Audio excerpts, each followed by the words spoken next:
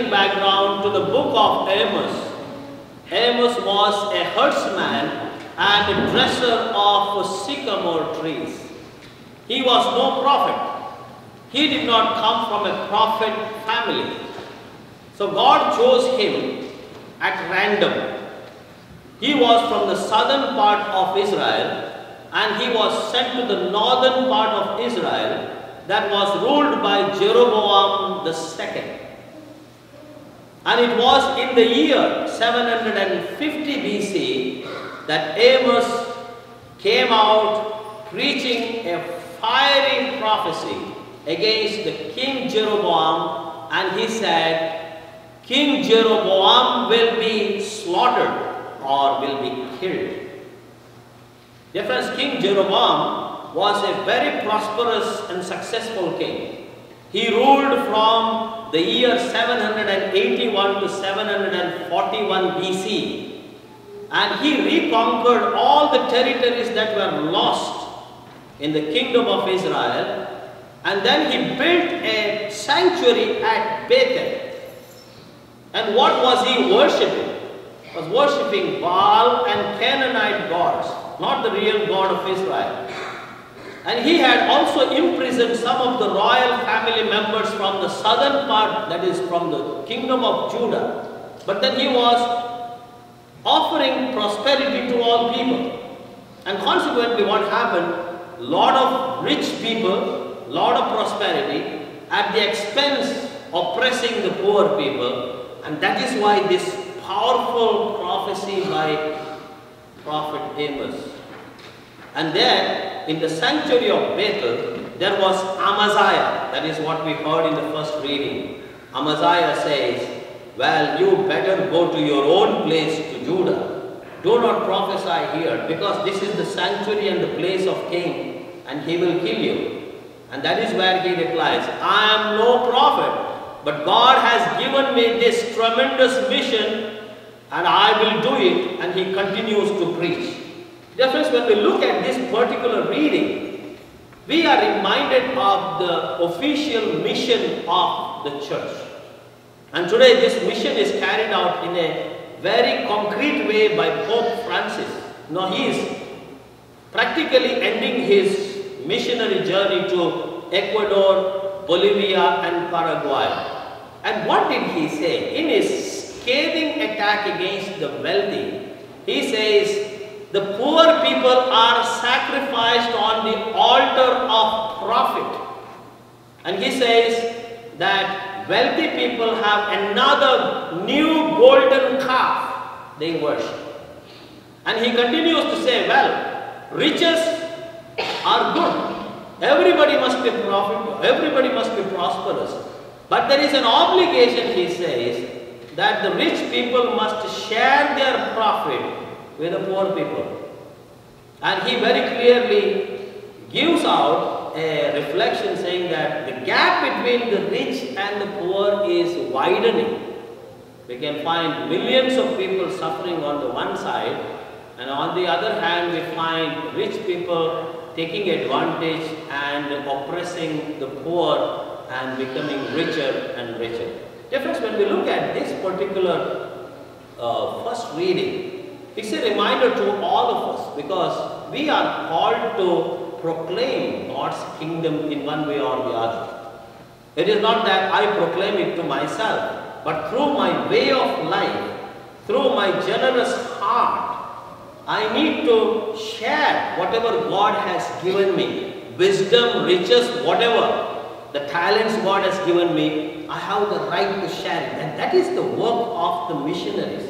It is spreading God's kingdom.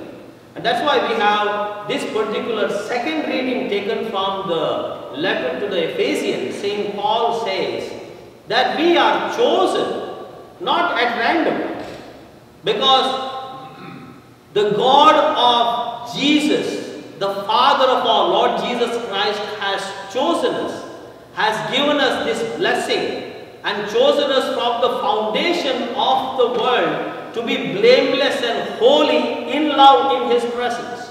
That means we are not by chance who have come into this world. God has a plan And this plan is to be realized. And what is this God's plan? Before God, everybody is equal. So there is no inequality. All are equal. So therefore, whatever God gives to this planet, to individuals, it is for sharing. And by sharing, we practically live in God's kingdom, sharing the joy and blessings of God. Dear friends, recently as I was coming out of the rectory, I met a homeless poor man and he wished me good morning father and his name is Clement and he said, Father I am so much edified by guardian angels and I have been coming here since one year. I know that I benefit from this sandwich program and I see such a lot of people coming here Tuesday to Friday and I'm really grateful to God for this great opportunity. I was never going to the church. I was not a believer. Now I have started going to the church to know more about Jesus. I am not coming to your church, he said. I am going elsewhere, but to learn more about Christ. And seriously, I am looking for a job. When I don't want to benefit from the opportunities and the generosity of the people, now I have decided to look for a job and change my life.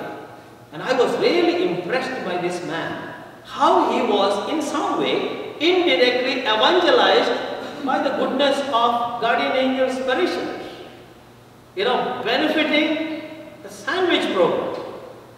So that is where evangelization is. Proclaiming the good news, dear friends, it is not holding a Bible in our hand and proclaiming with the top of our voice that every should, everyone should be converted and repent. No, it can be done with our good deeds, with our generosity, with a kind word, helping hand. Now coming to the third reading, the gospel passage, Mark's gospel. Here Jesus is sending out his disciples on a missionary journey. We know that in the past three Sundays we reflected how Jesus himself was a missionary he started in Galilee, choosing his disciples, proclaiming and teaching. Then he comes to his hometown. Last Sunday we reflected that in his own hometown, his people did not accept him. And that's why Jesus said, a prophet is not without honor in his own home country, among his household, and among his kin. And then here he sends out his disciples. Most probably the disciples were in some way already trained in the art of preaching and teaching and casting out demons. And that's why Jesus is commissioning these disciples to go out and proclaim the kingdom of God. And what does he say? Some concrete uh, suggestions on the part of Jesus. Not to go with all kinds of uh, uh, missionary. But in the mission work, go as light as possible. Now, we know that when we go on a journey, we always prepare ourselves well. If it is for a week or 15 days or 10 days, what happens? We always think of putting everything that is necessary in our bag, in our suitcases, you know, the clothing, and especially our documents, like passport, credit cards, a little bit of cash, our documents, and then in my case, I always think about my notes. You know, if I want to go on a preaching journey, I need to keep in mind that I need to have my notes ready. Otherwise, I will be in trouble. As a security, what do I do? I always preserve a copy in the iCloud. You know what is iCloud. If you do not know, you ask somebody else who is using the iCloud. You know clouds, right? But this is an iCloud where you deposit all your documents and a copy of your credit card and copy of your passport documents. If it is lost on the way, you can download at least some kind of details you have, your notes and documents and it can help you. But Jesus says, all that. And I was thinking probably in future they will invent a technique to download even currency, okay, from iCloud. You know, when you lose money, you get money from the iCloud, right? So far they have not invented that. They might invent in future. Now, in the case of Jesus, he says, do not carry bread, no money in your belts, no two tunics, carry your staff, wear your sandals. That's all what you need. Now, the Israelites, when they were going out, they were normally using two tunics. That is the inner tunic that will touch their skin and outer tunic which was called like a cloak. That's why Jesus said, if someone takes your tunic, give him also your cloak. You need to be generous. So they were wearing two types of clothing and it was with a girdle or a belt, it was tightened. Now Jesus says, wear only one tunic. Why it was said? Because in a hot country you do not require two tunics. So when you have one tunic and a girdle around, you are light for your journey. So that is the idea here. And then Jesus says, do not carry money in your belts. You know, that was the secure place for money. You know, in their belts, most probably there were some pockets where they could put some coins and preserve this money. I have seen in some airports, once the checking in is over, people would take money from their bags and put under their socks.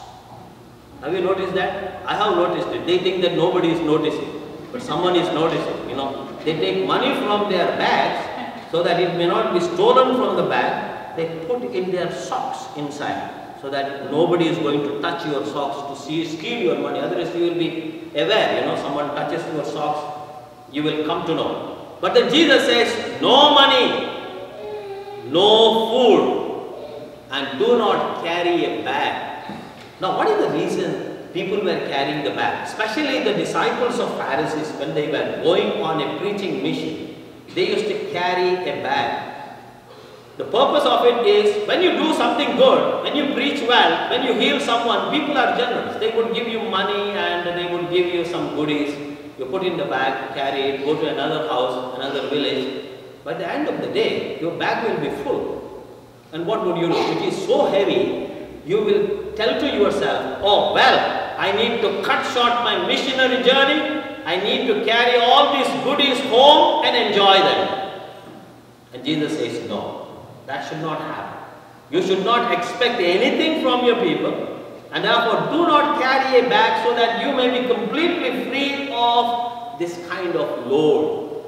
And finally Jesus says, wear your sandals. The Jewish people were wearing grass sandals, wooden sandals and leather sandals. Sandals were very important in a hot country to walk a long distance. And then Jesus said, carry your staff. Now this staff is very significant because Jesus is in some way helping the disciples to become future shepherds. You know, like Moses, Abraham and David, all these were mighty shepherds who always carried a staff in their hand, signifying that it is a support on their journey when they walk, as well as a symbol of authority. You know, you know all these cardinals and bishops carry a staff in their hand, signifying, you know, they are the shepherds. Now the last part of the gospel, Jesus says, wherever you enter, stay there, do not move from house to house. And if someone refuses to accept your message, what you do, come out of the house and shake off the dust off your sandals. The meaning, whenever the Israelites went out of the Holy Land, they were considering that they were going to a Gentile land, a, a land of, of non-believers. And when they were coming in, they did not want to bring that mud or dust from a Gentile land, pagan land. So they were recommended to shake off the dust of their feet so that the dust of the pagan land or Gentile land may not enter the holy land. Now Jesus answered to his disciples, shake off the dust. Tell them you are like pagans and Gentiles because you do not want to accept my message. Dear friends, what all these things tell us? They tell us one particular thing, that the message that we have received from Christ is not for ourselves. It is for sharing. Now in the Catholic Church we have always an impression that I must save myself. That's the right thing that I must save myself because of the sacrifice of Jesus on the cross. You know, by the very fact we confess the name of Jesus, we are already saved. But then what is the meaning of our existence as Christians? The message that we have received is not only for myself, it is for sharing. And if I give an example, there was a famous violinist. You understand violinist, one who plays violin by name Fritz Kreisler, who lived from 1875 to 1962, was a very famous composer and uh, who used to perform, used to give concerts. He was a rich man and he gave out all his wealth to the poor people. At one point he was so poor, he was not able to buy a wonderful piece of a violin. He saw a beautiful piece of a violin. He wanted to buy it, he did not have money. Then he worked extra hours gathered money. The moment he wanted to buy it, someone had taken it away. A collector of uh, uh, piece of arts.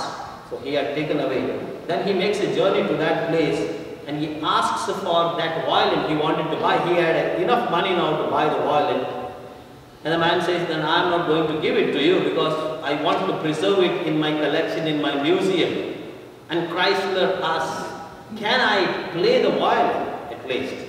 and he generously offers him the opportunity to play the violin and he produces the most beautiful tune and music out of that violin. And this collector of art pieces was so impressed, he said, well, this violin has no right to be in my museum.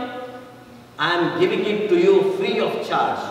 Go to the whole world and produce the best music as possible and share it with people. So he was so happy to take the violin. Different, the violin symbolizing the message of Christ in our heart. We are all called in one way or the other to share that message like the disciples like Amos. You know what is this sharing? Sharing is standing for justice, fight for righteousness. That is our task and mission entrusted with us. And that's why Pope Francis one who is doing his job, he does not have any fear of telling the truth openly. That is like Amos, Prophet Amos. We are all empowered, we know, by the grace of God, the power of God, the baptismal grace, the grace we received in the Holy Eucharist and the Holy Communion. We must tell to ourselves, this great message of liberation and peace and joy and happiness is not for myself, it is for sharing with others. Therefore, this Sunday's message, dear friends, is quite clear to all of us that we are all called to be disciples of Christ. We need to go to the whole world. Where is that whole world? We need not travel abroad. In our neighborhood, in the place of work, in our families, in places where we meet with people, that is the opportunity through our way of life, through our generosity, and goodness to share the message of Christ and of His kingdom. Kindly rise, the prophets.